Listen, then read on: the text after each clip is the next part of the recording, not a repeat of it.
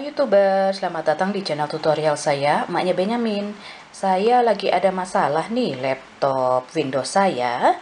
Uh, Nyalanya hanya seperti ini, jadi muter, muter, muter, muter udah setengah jam. Dan ini bukan pertama kalinya kayak begini. Jadi udah sedikitnya tiga kali saya ingat saya kayak begini. Cara ngatasinya gimana? Pertama, kabel untuk baterainya atau colokan yang di sebelah sini itu dicabut.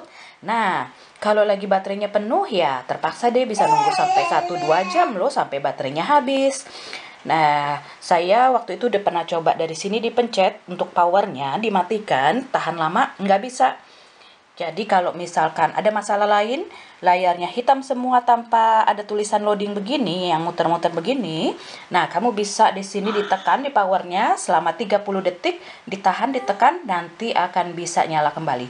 Tapi untuk masalah saya kali ini, yang begini, status mode uh, loading melulu, adalah cabut baterai, biarkan laptopnya menyala, sampai habis baterainya, lalu nanti di pasang lagi kabel uh, baterainya, nyalakan, komputer akan normal seperti biasa. Akhirnya setelah tiga setengah jam baterainya habis sendiri dan dia mati sendiri. Sekarang saya mau menyalain uh, kabel baterainya ditaruh uh, dipasang lagi alias uh, baterainya dicas lagi kita lihat nah baterainya udah nyala untuk uh, dicas sekarang powernya ditekan.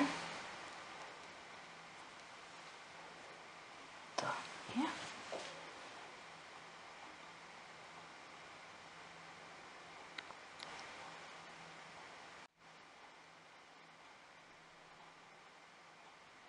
Nah tara!